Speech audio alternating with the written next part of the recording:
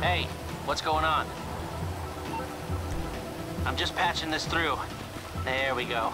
Lighting them up.